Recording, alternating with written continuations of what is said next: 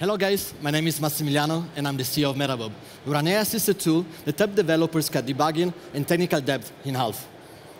Our team consists of experts in the AI and NLP space, with over 40 published papers in the code fault detection area, two prior exits, many are experienced in leading AI generations for companies like Microsoft, Panasonic, and more than anything, a great passion for open source development. As our founding team actually met working on an open source projects with the goal of identifying the likelihood of a code change and a code commit to have to be revised over time due to not meeting project expectations. We also have many years of mental breakdown for debugging and refactoring, as debugging is by far the most time-consuming and challenging aspect of every software developer day today. As engineers spend more than half of the day looking for bugs, which costs their company an astonishing average of $160 per hour per developer. In the US alone, the cost of technical debt is over $1.5 trillion, which is roughly 5% of USA and European Union GDP.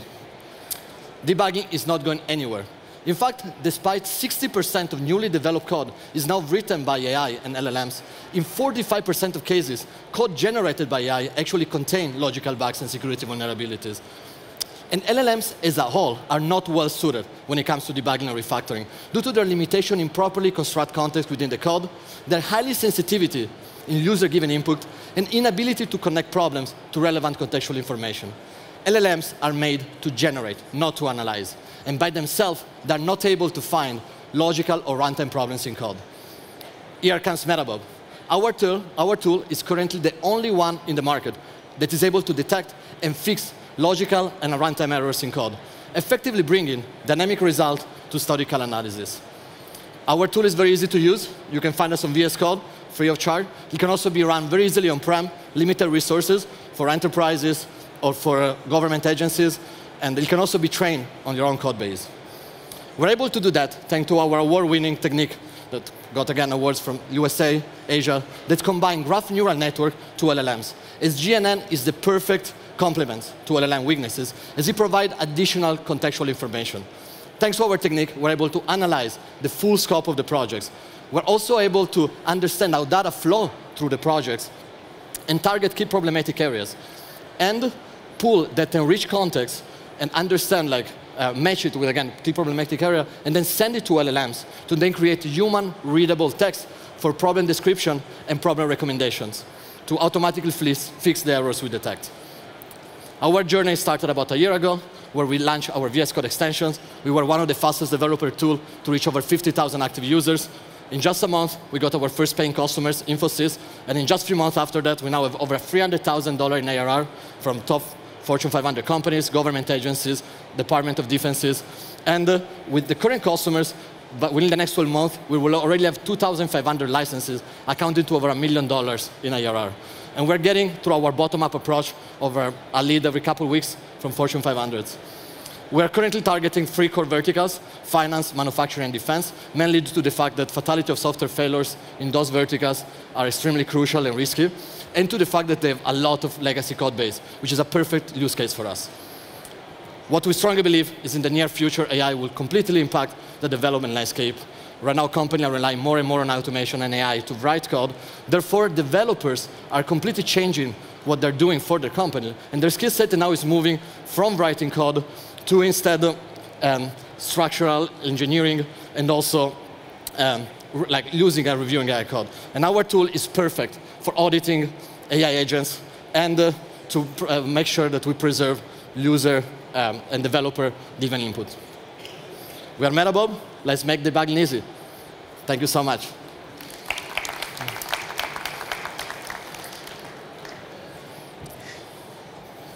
Thanks a lot.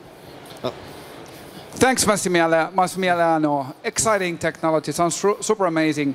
Um, could you explain a little bit, um, especially you're targeting those industries that have very large code bases. So how do you actually ensure that your technology is able to take into account the full code base in very complex projects? There's yeah. been many attempts to what you're building in the past, and this has been one of the bottlenecks. So how have you solved this bottleneck? Yes, so it's really about like our core technology. So we worked many years before starting the company. Uh, we were working at a lab specifically targeting these issues. And as I say, like, what we strongly believe is like LLMs alone are not able to find and to be able to account into like and understand the entire context of large code bases. That's why we combine it with the GNN. That the main role for it is like, again, be able to understand the reason of code changes. So we train it initially in open source, um, like code changes and understanding to, again, why code changes have occurred. And over time, we now train it on company code base as well. So thanks to that, uh, the GNN per se is able to provide additional context to LLM to then be able to find, we specifically focus on race condition, edge cases, all type of logical issues that currently rule-based static analysis tool or LLMs are not able to find alone. And so really to answer your question, the combination of our two techniques is what made us possible to, to do that. And uh, another value of it is the fact that it can be run on-premise, because our model is much smaller than an LLM alone, so it can be easily be deployed in the company architecture.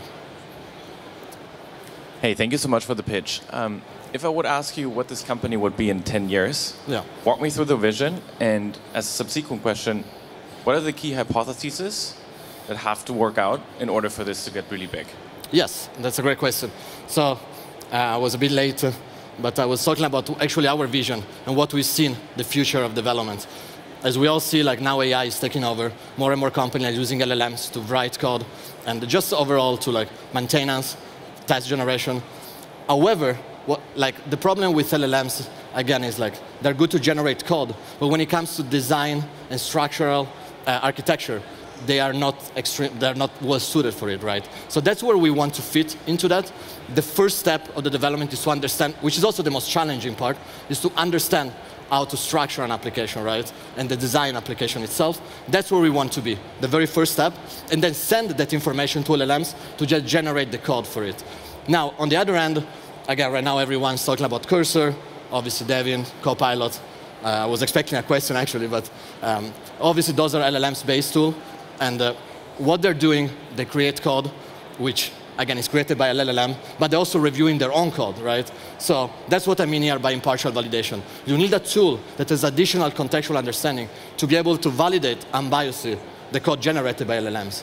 So that's where we want to stand for. And uh, when it comes to um, the, the, the, second questions, which is like, what are the hypotheses we're testing? Obviously, from a technical standpoint, we're, working, we're building many case studies with customer. So uh, another advantage of our model is be able to train it on the raw code base. When it comes to legacy code, obviously there is not much open source data. So we have a general model on VS Code, but also for each enterprises, we provide the opportunity to train the model on their code annotation. And so we're currently testing those by providing study. Initial results are amazing. Uh, we have some uh, customer quotes that, uh, um, again, we really reduce overall 80%. But uh, really, in terms of our pipeline now, working on supporting more languages, creating more general model, and be able to train on as many code bases as possible, really. All right, our time is up. Thanks a lot, Massi. Thank you, guys. Oh.